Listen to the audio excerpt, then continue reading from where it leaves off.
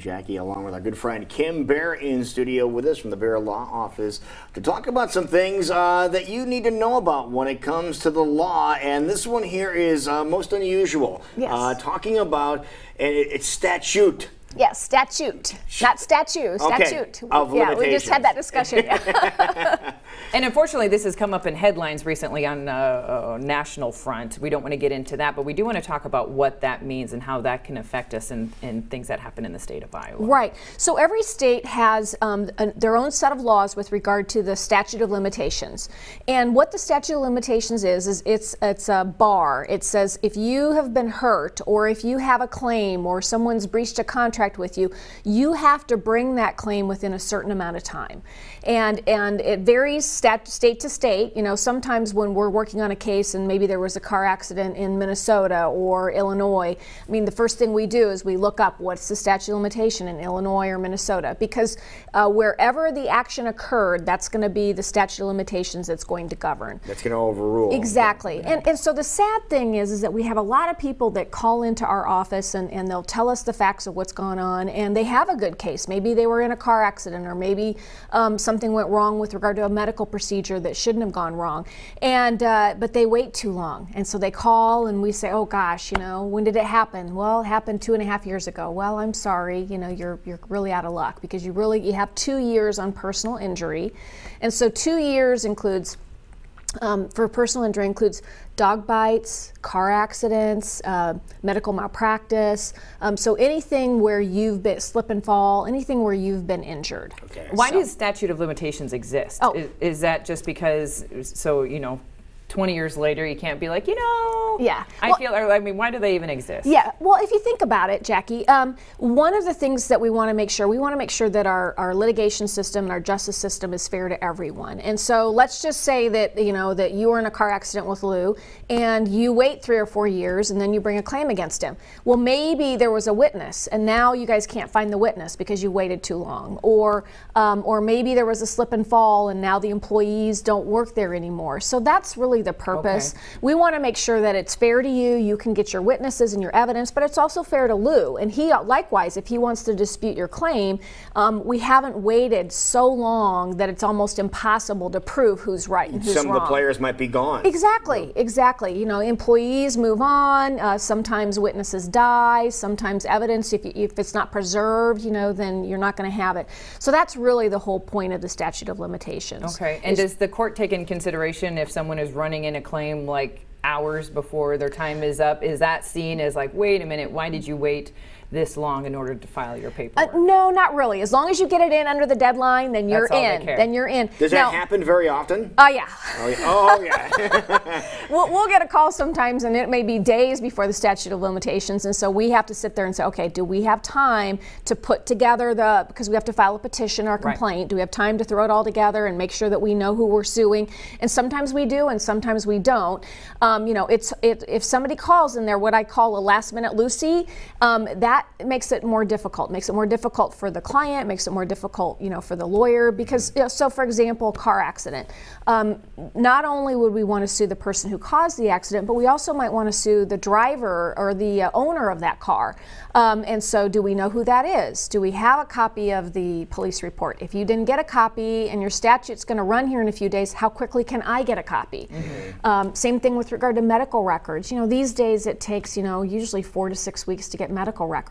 So if somebody comes in and says, hey, you know, I've got a me- medical negligence claim and it looks good, not only do we have to get the medical records, but then we also have an obligation, um, at least in our office we do this, we have an expert review it before we file a lawsuit because we want to make sure there truly is a claim. right. Okay, so, So- the injury and, and that aspect of it in any way, shape, or form, that's, that's two years. It's two years, but I probably, you know, there's always an exception. And so the exception here is called the discovery rule. Um, and what that means, and typically that might come up with regard to a medical negligence claim. Um, so let's say, uh, let's say that uh, you have an operation, you have your appendix out, and they leave a sponge in you. And so, you know, you're recovering, recovering, and you, you feel pretty good, but every once in a while, maybe you feel kind of a pain, and you're thinking, well, you know, I'm not quite sure what that is. And you keep going back to the doctor saying, well, is this normal? And at some point, um, you find out, maybe, maybe you find out three years later with regard to, you know, that there was a sponge in there, um, or three years later that something was done wrong.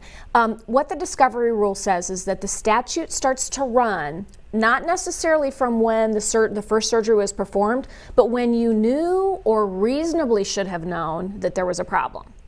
And that that kind of language always scares me. Um, so I always try to say, okay, you know what? I think it needs to be two years. But there are exceptions to the rule because um, because if you, there's no way you would have known, or maybe you're treating with the doctor and the doctor's going, no, that pain's normal, that pain's normal, that pa- that pain's normal, and then you find out, no, actually it's not. I, there's something else that happened here. Um, but so there is a discovery rule. So that would be the time. That would be the clock would time. That would be the time when you knew or when you reasonably should have known. And so that's what always is an issue: is when you should you reasonably should have known. You know. So um, and so there are situations where you can go past the two years if you fall into the exception. Okay. Are So- there some other dates that we should keep in mind when it Yes. comes to this? Um, so let's talk about contracts. So Right. a written contract um, is 10 years. So if you've got a written contract, and that runs not from the date that you sign the contract, that runs from the date of the breach. So for instance, let's say that um, that you're going to do lawn care for Lou, and so you guys sign a contract, and you say, okay, I'm going to be over there every Monday, and I'm going to cut Right. your lawn. And so you, the contract goes on for five years, and then maybe you start missing Mondays, but he's already paid you. Maybe he pays you in advance. You're the breach of contract, Lou. You could sue Jackie, and it's if you got 10 years to sue her, and it goes from the date that she stopped cutting your lawn, not from when you first signed the contract. Okay. So that's when that's when your action accrues. But that's, is what we talk that's about. a written contract. That's a written contract. An oral contract is five years. So it's shorter amount of time. And again, the reason for that is because we're going to have to prove the terms of the contract. There might be witnesses, and Mm-hmm. so that's the reason why the, the statute of limitations is shorter. Wow. So Which yeah. one is tested the most uh, uh, in your practice? Which one do you find? Uh, I, I think the personal injury, I think when uh, when somebody's trying to apply the discovery rule, I think that's the one, that's always the one that gives me the heartburn. Um, and that's the one that I'm always looking to see, you know, if there's a new Supreme Court case on the discovery rule, what are they saying? What is the standard for when somebody should have reasonably known that there was an issue? So, Right. so I think that's really the one that's the most litigated. Um, Let's see. And then uh, there's a, if you want to sue somebody for fraud, that's five years. That's a five That's year? a five year statute of limitation. The other thing that, um, that I think we should talk about too is uh, there's an exception if, if it involves a child. So let's say that a child is in a car accident and a child's hurt. Okay. Um, the way that, that that works is that the child typically would have two years, just like everybody else. Um, but if they're under the age of 18, hence they're a child, um, then the statute of limitations can go up to age 19. So if you if you have someone in your Okay. family that was under the age of 18 that was hurt in a car accident and they just never brought a claim and they're still under the age of 19, you might still have a claim.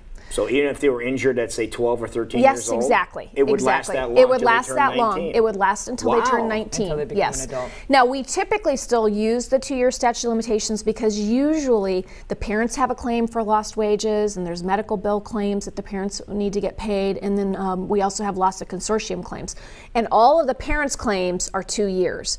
So because we don't want to bring two lawsuits, we typically, you know, roll do it it all all at into once. one. Yeah. Okay. But sometimes, you know, you'll have people call and they'll say, you know, my child was in a car accident and we're just not quite sure. You know, maybe he's having some issues. Sometimes it may be a head injury. Um, we're not sure how serious it is, so we don't want to bring a lawsuit just yet. We want to wait and kind of see what's Yeah. going on. So you've got those types of things. Um, the only other thing I wanted to mention is then we also have what's called a statute of repose. And what that is is that's a time frame that, that just says, you know, it's cut off. It doesn't matter. You can't go any longer. And so a good example of that would be um, when you uh, when you have you uh, I think it's six years for your sponge case. So if you have a case and let's say you had surgery in 2000, um, your the statute of repose might say, you know what, by 2006 you're done.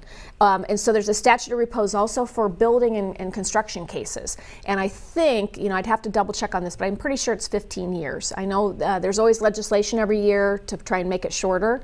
Um, and so it might be shorter now. Might Now, have been what do you mean by that with building? Um, what that means is, let's say, let's say you're my home builder and you build me a house, and um, three years into it, I find out that the roof was constructed fault. It, there's a fault with it, and and I've tried everything to fix it, but actually it needs to be torn off and maybe you know re-roofed and something like that. So I have a claim against you, but um, but the question is, is you know, when did I find out? I mean, has it just been? Was it a slow leak? Because sometimes you know, with water, it'll go down the walls and everything, and it'll be a while before you find it. Um, and so the statute of repose says that no matter, let's say I didn't find out about it until eight years later, and now I'm going to sue. If the statute of repose is five years, I'm out of luck.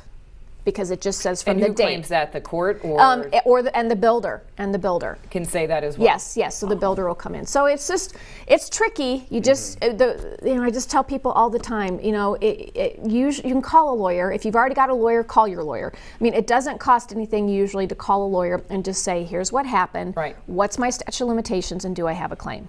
So uh, Okay. don't be a last minute Lucy. Now, when- whenever anybody does w- want to file a lawsuit, is that your first step? Do you is that the first thing you check? Is the statute? of Yes, that's the first thing. In fact, when people call into my office and they're telling us what happened, we always say, "When did this happen?" You know, um, if it was a surgery, when was the surgery? It was a car accident. When was the car accident? And sometimes, you know, eh, you know, like I said, sometimes we get calls and it's five or five, ten days before the statute of limitations, and literally somebody at my office is going, "Can you hold on, Kim? Do we have time?" Right. And as Yeah. we've talked about in previous segments, uh, that's why you need to document things as well, so you have those answers when You you, do. do. make that phone call. If people need to be calling you because Yeah. then maybe they have some questions, what's the best way to do so? Sure, just give me a call at 279 2000. Uh, we offer a free 30 minute consultation on all of the cases. So, and we have free parking. That's true. Yeah. That's perfect. Wonderful. Yes. Great job. Thank you so much. All right. Thanks, there guys. you go.